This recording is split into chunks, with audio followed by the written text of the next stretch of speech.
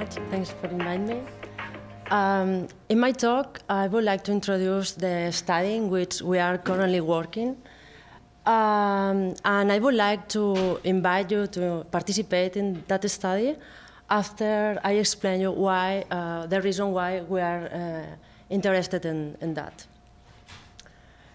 Well, um, our studies focus in the identification of the genetic variants related with Chiari malformation type 1. The main goal is try to, to find the causal factor of this disease. Uh, uh, several times we listen it uh, during these days. Uh, very often, uh, the diagnosis of Chiari malformation type 1 is an odyssey. Uh, patients go to the physicians for different reasons. The, the physicians misdiagnose, do a ground di diagnosis for the patients they suggest different treatments that at the end they are ineffective, so the disease progress, so it's a long history. And one of the reasons, well, is because um, with Chiari malformation type 1, uh, it involves a different kind of patient, so it's very difficult to define everyone. And the other thing is because the causal factor is still unknown. So we think if we, we can identify the causal factor, we can understand better the disease, and then we can improve the diagnosis, we can design a preventive strategies, and we can improve the treatment.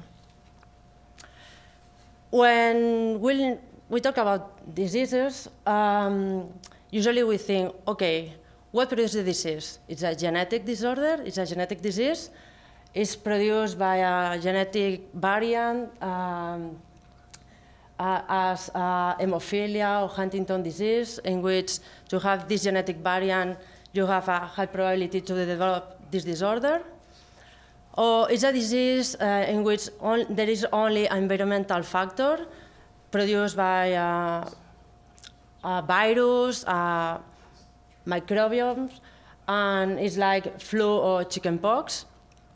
Or it's a complex disease in which not only uh, the genetic component is involved, it's the combination of genetic and environmental factors, such as diabetes, uh, heart disease, neural tube disorders, or the, most, the, the most of the cancers. This kind of disease, the, the diseases, um, the genetic component uh, has a, a, low penetrance, so although you have the, the genetic component, you need the environmental component, component, uh, component to develop the disease. So what happens with Chiari malformation type 1? Uh, it has been described that there are some familial cases in which probably in these cases the genetic component is really strong. So if you have the genetic variant, you have a very high probability to develop the disorder. But the, uh, the most of the cases uh, are sporadic. So uh, there is an environmental component but probably there is a genetic component related to that. Okay, um, why we think there is a genetic component involved? As yesterday Dr. Ashley-Koch explained very well, uh, there is uh, familial aggregations. There are some studies in which describe uh, several familiar, uh, families with several individuals uh, with Chiari malformation 1. In fact, uh, in 1999, Milhorat uh, estimated that 12 of the 12% uh, uh, of the patients has more familial members with Chiari malformation 1. In fact, in Vall d'Hebron uh, Hospital, in which where I performed my PhD, we identified several families with more than four members with Chiari malformation 1 with, um, in different generations. In that case, answering the question that was, uh, was asked previously, uh, in these cases, uh, it seems that there is an autosomal dominant inheritance. But it's true that has been described some cases in which it seems an autosomal recessive inheritance. So it seems that there are both. Well, uh, there is also two studies in which demonstrate that there is a major concordance for Chiari malformation type 1 monozygotic twins than the zygotic twins.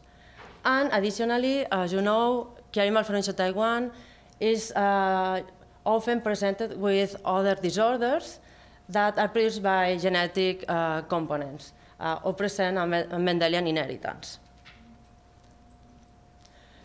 Well, when you want to perform a genetic study, the most important thing is try to have a, a sample of patients that they are very homogeneous. And what happened with Chiari malformation type 1? As you know, um, is uh, diagnosed uh, based on the magnetic resonance images, uh, considering uh, the tonsillar descent, more than five millimeters if you are patient or not. But uh, it has been described too that tonsillar herniation could be produced by seven different mechanisms. And so uh, that it means that if you want to perform a genetic study considering these uh, criteria, we have a big issue. So um, as traditionally has been described, Chiari malformation type 1 as, uh, as a consequence of a reduced posterior cranial fossa, produced because there is a shorter occipital bone, we decide only to study, uh, to focus the study on the classical patients who are, are these patients with this reduced posterior cranial fossa. Yesterday, Dr. Ashley-Koch described the results uh, obtained from the genetic study performed in, in patients uh, with Chiari malformation type 1 and uh, connective tissue disorders. Well, our studies focus in another kind of patients, the classical patients. So the first thing that we did, uh, we uh, selected 100 patients, adult patients, considered the, the radiologist criteria, and 50 controls matched by gender, and we performed eight, 19 different measurements measurements that were lengths, areas, and, and angles. Okay, and we saw uh, that in nine of these parameters were completely different between uh, patients and controls. We also obtained a, ma a mathematical model uh, using seven of these measurements that, that allow us to descend the patients with uh, this posterior cranial fossa reduced from the other kind of patients. And this mathematical model, it doesn't work uh, perfectly, uh, only classifies in 93% of sensitivity and 92% of specificity. So it's really good, but it could be improved. But for us, it was fine, at least to try to discern the, the classical patients for our genetic study. But okay, which genes, uh, which genes we, we wanted to study? The whole genome is huge. There are thousands of, of genes. So we decided to focus the, the study uh, in these genes that are involved in those structures that all these patients have in common. So as I said, uh, all of them presented a reduced posterior cranial fossa that, um, that is characterized because the, the occipital bone is shorter. But uh, the occipital bone is a, a bone really complex. The, the, embryology of this bone is difficult because if you focus in the uh, supraoccipital bone, then you, you need to study the notochord, and see what happens then. But if you focus in the basioccipital part, then you focus uh, the study in the paraxial mesoderm. So we needed to choose between the two parts of the, of the bone. And we went to the results that we obtained in the, in the morphometric study. And we saw that the clivus, that contains the, vaxio, the, the, uh, sorry, the bone, uh, were more different uh, from the controls. So we chose to study this, this part of the bone. This part of the bone starts to develop in the third week of the gestation, the gestation and grew up until the second decade of the life. So imagine the quantity of the genes that are involved in this development. And in, in general, you can split uh, these genes into big groups. Genes that are involved in the embryo development, So they participate in the paraxial mesoderm development, that they are going to produce the somites, and the fusion of the somites are going to produce the occipital. In fact, there are some studies that demonstrate that a reduced number of these cells produce a, a smaller somites, and then the occipital bone is shorter. On the other hand, you have a second group of the genes that are related in the postnatal development that probably are uh, involved in the closure of the synchondrosis. That is in that part. As there are several evidences, experimental evidences, that the occipital bone is shorter uh, during the embryo development, we focus the genes in that part. So then we selected uh, more than 100 uh, patients following the tonsillar herniation uh, with more than three millimeters of descent, all of them with uh, common symptomatology of Chiari malformation type 1, and uh, more than 500 controls matched by gender.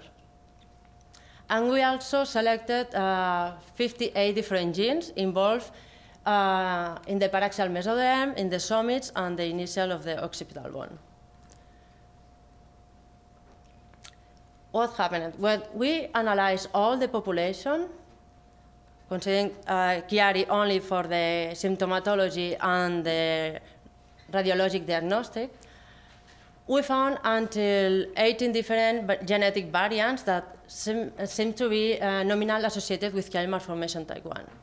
But when we applied um, the corrections for multiple comparison, no one of them remained as a significant. So then uh, we decided to apply our, our, mathematical model.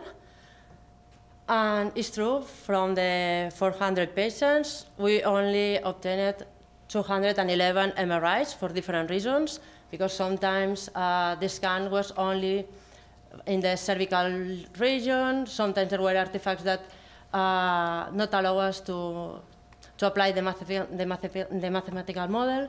So at the end, we only analyzed 211 measurements, I, uh, MRI studies, and we obtained that uh, from those, 186 corresponded as a classical patients. So we repeat the, the cash control genetic association study, and then we found until 26 genetic variants that could be uh, nominal associated with Chiari malformation type 1. It's more than 18 that we found analyzing the whole, the whole population. In that case, 10 of these variants presented a p-value less than 0.01, and four of them remained significant after applying uh, corrections for multiple testing.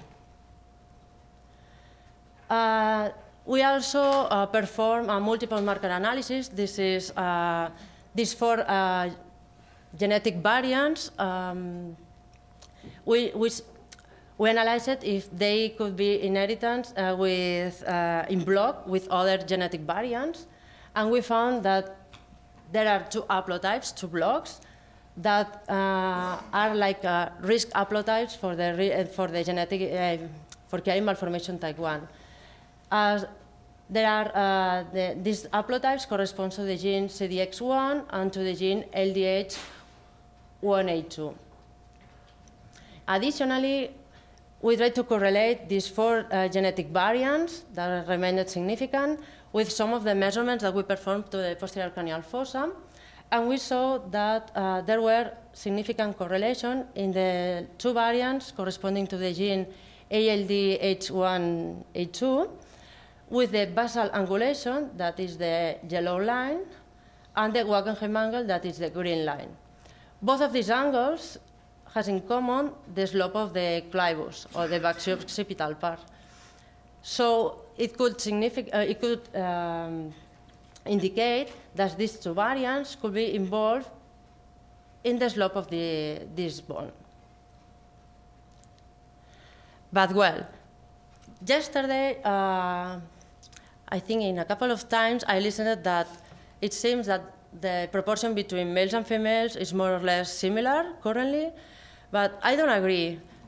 I don't agree because at least in our sample uh, that we recruit in Barcelona, uh, there are more predominance in females than males. We found the double the females respect the males. So we started to think that maybe uh, it could be differences between males and females uh, in Chiari malformation type 1 patients. This is not strange. There are some studies who explain that it could happen in complex disorders, such, uh, such as asthma, immune disorders, or, or heart disorders. In fact, the foramen magnum uh, is well known that it's different between males and females, even different ethnicities. So why not it could happen with other structures of our skull? And if we see, we, we analyze uh, how these different structures of the posterior cranial fossa, how, uh, how they were uh, correlated with the posterior cranial fossa properly. And we saw that in men, the foramen magnum is really involved in the posterior cranial fossa. But however, in women, the posterior, like the foramen magnum is, doesn't play uh, any role, and it's the clivus who plays an important role. So this is in controls, males and females, so why not in, in patients these uh, differences are bigger? So we decided to repeat the analysis, the morphometric analysis, the, analysis, the genetic analysis, but this time splitting uh, by gender the, the population. Um, as you know, in general, men are bigger than female. So, for example, the hands of the men are bigger than the hands of females, and this happens with the skulls and with the neural structures. So we cannot uh, compare directly these structures because sure, we are going to see differences, but not differences related with Chiari malformation type 1. So for that reason, as different studies suggested, we perform, uh, we wanted to normalize these uh, measurements, measuring the intracranial area, the height, and the width. So all the areas were normalized with the intracranial area, all the height lengths with the height uh, intracranial and, and with the width. And on the left table, uh, there are the measurements split by gender and cases and controls. And on the right are the p-values corresponding to the, to the analysis once we normalize the data. The first thing that we can see is just in the controls, males and females, they present differences in the intracranial area, the intracranial height, and the intracranial width. We didn't see differences in the foramen magnum, as we expected at the beginning. But uh, there are difference, differences when you, uh, you compare the males between controls and patients. Differences that we don't see in the females. So it could be that it's having something in the foramen magnum in the male patients. Additionally, we saw differences in the distance between the corpus callosum and the foramen magnum in the normal population between males and females, and it's a difference that we don't see in the patients. So there is something happening here too. But the most significant result is that we found significant uh, differences between males and females in the length of the clivus, meaning that females in general present a shorter clivus respect the male. And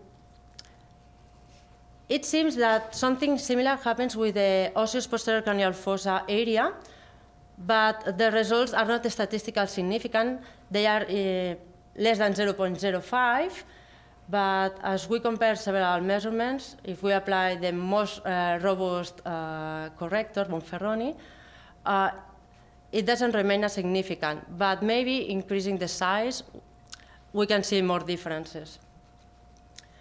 And um, we see that, uh, we saw that also that the Wackenheim angle seems to be bigger in the, eh, in the male space and respect uh, the male uh, controls, and the tentorium angle to be smaller in female patients respect to the female controls. So it seems that in morphometrics, there are differences between patients respect, uh, considering the gender. When we repeat the analysis, the genetic analysis splitting by gender, uh, when we only analyze the males, we observed until 30 uh, genetic variants uh, nominal associated with Chiari malformation type 1. This is bigger than 18 and 26 that we obtained in the previous analysis. We, uh, from these, uh, these genetic variants, 10 of them uh, presented a p-value less than 0.01, and one of them remained uh, significant after applying corrections. But what happened when we analyzed only females? When we analyzed only females, there were only 11 genetic variants with uh, nominal associated with Chiari malformation type 1. No one of them presented a p-value less than 0.01, and no one of them remained significant after applying corrections. It's true that there are some genetic variants that are in common between males and females, as you can see in this table, are uh, in green. Uh, in fact, in yellow, but it seems green. And, but there are also the other genetic variants, this kind of green, that are also uh, that are only presented in males, and genetic variants in blue that are only presented in females. So if we analyze how these uh, genetic variants that are in these genes, how they are related, they are perfectly directly related between of them, indicating that maybe uh, these genetic variants that we selected previously according to the development of the, para the paraxial mesoderm, it could be more significant in males than females. So even in males and females, the process of the development is the same, maybe in the, the causal genetic variant, in males is more in this pathway, and in females, maybe the genetic variant is more involved in the postnatal development and it could be related with hormones. But these results are only preliminary results because, uh, as you can see, after splitting the, the, the, population several times, at the end, when we analyzed the males, we, are, uh, we only analyzed 36 patients versus 160 controls. So the size is really small, and we cannot confirm strongly the, the results. And additionally, the genes are only genes focused in the, the mesoderm paraxial development, not, only, not in the closure of the synchondrosis or the bone-specific development. So for that reason, I'm here. I'm working in the University of Akron in the Conquer Chiari Research Center. I got a grant from, from Spain and the idea is to try to replicate these results in a sample um, uh, provided from uh, uh, American patients. We also, uh, the idea is the same, to try to uh, perform a morphometric study to see which structures are different, and then to do the genetic study to see if the genetic variants are still associated in, in this population, and see if there are uh, differences in genders. If you are interested, you are invited to participate in the study. You only need to go to this website. Um, not only patients are invited, controls or general population is also invited. We are looking for patients and general population older than 18 years, and uh, participants uh, white and non-Hispanic or Latino, because we want a very homogeneous uh, group and we want to be sure that the differences is not because of the ethnicity. And if you link, if you go to this website, you will see uh, a red consent form. If you agree, you need only to click.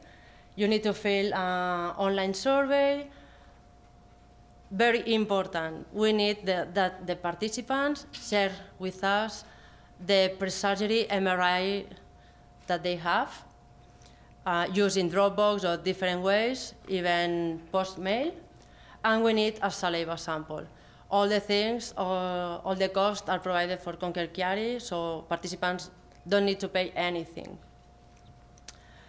And, well, the, the, the work that I presented here, it was done in Barcelona, under the supervision of Dr. Macaya. Uh, the neurosurgeons who provide the samples were Dr. Poca, Dr. Sahuquillo. The genetic analysis uh, was, uh, were done under supervision of Dr. Dr. Cormand and Dr. Toma. And this, uh, this study is funded by Conquer Research Center. Uh, my grant is provided for the Fundación Ramon Areces. And this study is done thanks to the participants. Without the participants, we don't have anything. So, thanks.